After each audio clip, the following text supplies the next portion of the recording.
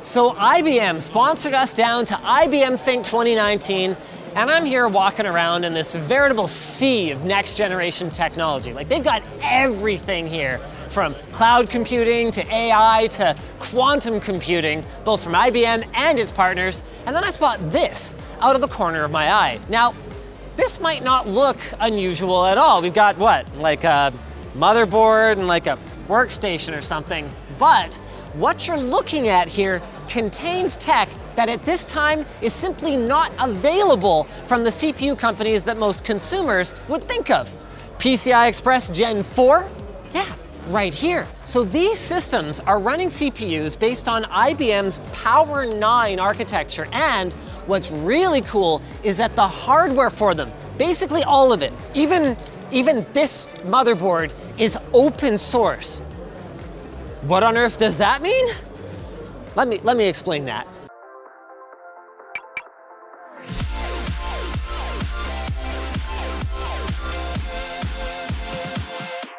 So IBM's power architecture is nothing new. In fact, if you bought a Mac back in the early 2000s, you've used it before.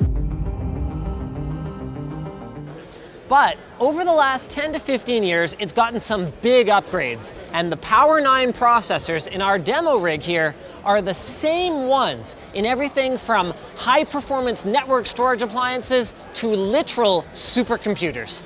But what makes them open source? Well, the CPUs themselves are not, although IBM actually does allow even CPU hardware technology to be licensed. But it's the ecosystem around them that is.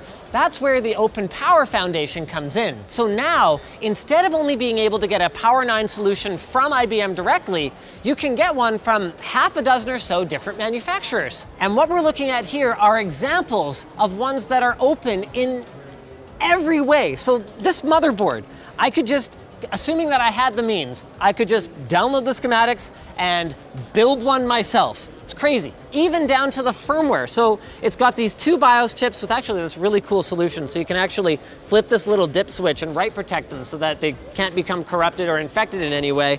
And I, I, I could just, I could build the whole thing and it would be ready to rock. And then I could just run standard software on it, like Linux or FreeBSD.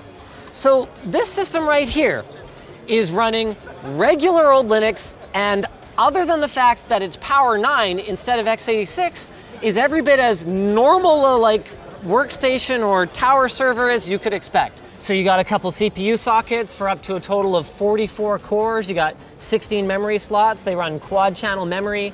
Uh, I mean, the thing that's exceptional about it is how sort of unexceptional it is. It just looks like a normal motherboard. You've even got just like a standard Radeon Pro workstation graphics card in here, Xi sound card of all things, some PCI Express slots. I mean, they're Gen 4, that's cool, but like, yeah, US, USB header. It's just a normal friggin' thing. Like, can I just like run video games on this thing? HyperX gaming keyboard and mouse on here. Nice, I like it. Keeping it classy, right? Enterprise show.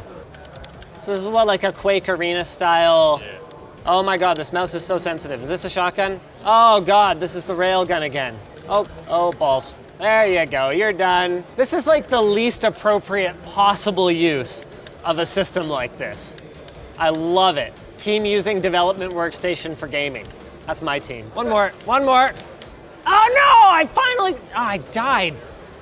Okay, so that's probably enough of me playing games on the very serious tool actually. Let's talk about why all of this. So the openness of OpenPOWER has some key advantages. From a performance standpoint, it's allowed faster ecosystem development. So they're already shipping not just PCI Express Gen 4, which is about twice as fast as the third gen bus that everyone else is using right now, but they also have support for OpenCAPI, which is twice as fast as PCIe Gen 4, and the ability to run up to three Tesla V100 GPUs off of a single CPU using NVLink which is not only faster again than OpenCAPI, but it also allows for full data coherency between the CPUs and the up to six GPUs that you can handle in a dual CPU system.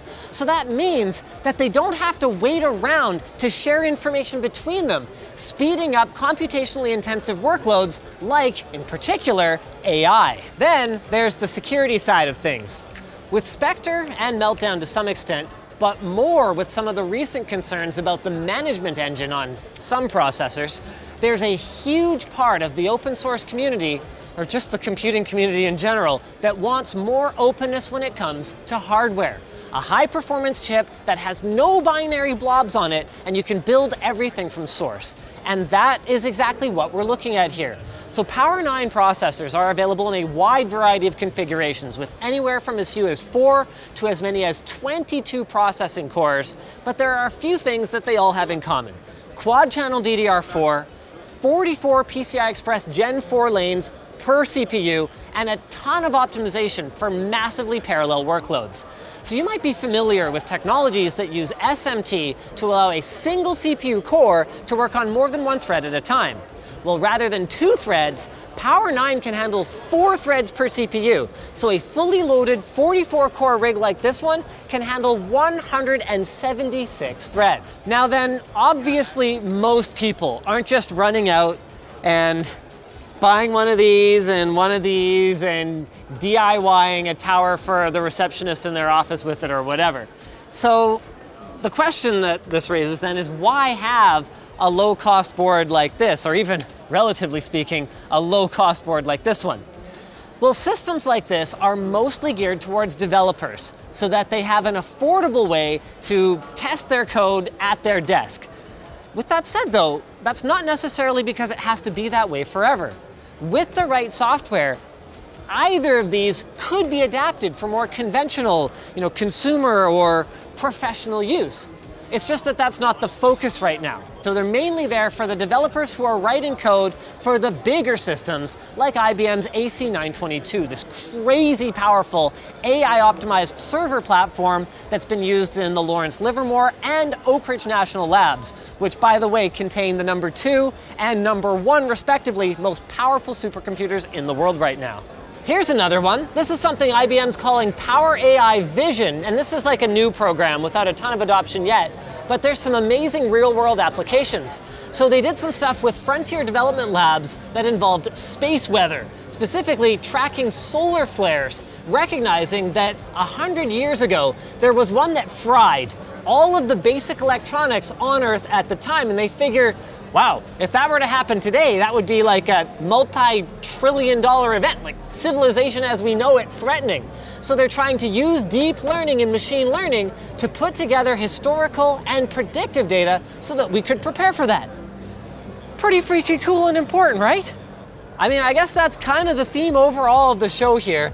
And all that's left now is to thank IBM for sponsoring this and thank you guys for watching our video from here down at IBM Think 2019. If you guys disliked this video, well, you know where that button is, but if you liked it, hit like, get subscribed, or maybe consider checking out where to buy the stuff we featured. Oh, only if you have very deep pockets, like down to your shins.